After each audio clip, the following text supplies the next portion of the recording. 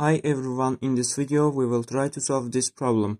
x power 2023 equals to x power 2021.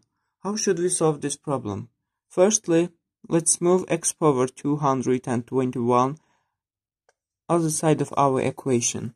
x power 2023 minus x power 2021 equals to 0 and if we take x power 2021 out of the brackets. X power 2 remain here and minus 1 remain here equals to 0 then x power 2021 equals to 0 and this x squared minus 1 equals to 0 from this equation.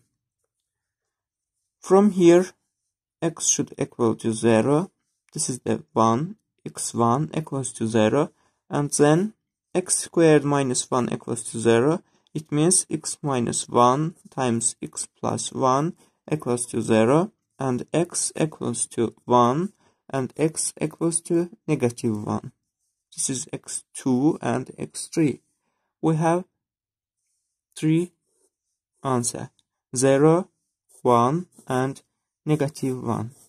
Thanks for watching. Don't forget to subscribe my channel and thumbs up my video.